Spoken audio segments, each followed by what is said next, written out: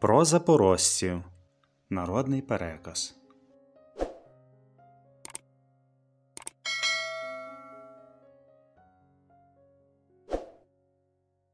От які богатирі були, земля не держала.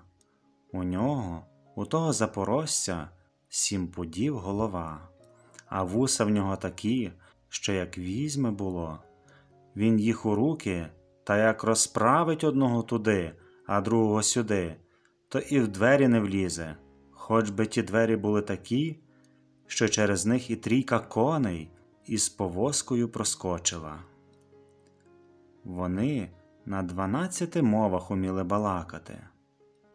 Вони з води могли сухими виходити. Вони вміли, коли треба, і сон на людей насилати, і туман, на кого треба пускати, і в річки переливатися.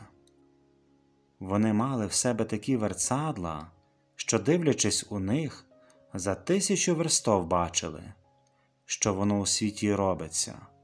Оце, як іти куди в похід, то він, хто там у них був за старшого, чи ватажок який, чи сам кошовий, візьме в руки варцадло, подивиться в нього й каже Туди не йдімо, бо там ляхи йдуть, і туди не йдімо, бо там турки або татари заходять, а сюди йдімо, бо тут аж нікогісінько немає. А як вони воювали? Стануть було тут, на Орловій балці, а проти них двадцять полків вийдуть, так полки самі себе поріжуть, кров тектиме по черево коням, а запорожцям і байдуже стоять та сміються. А це все від того, що вони знаючий народ були, на своїй землі їх ніхто не міг узяти.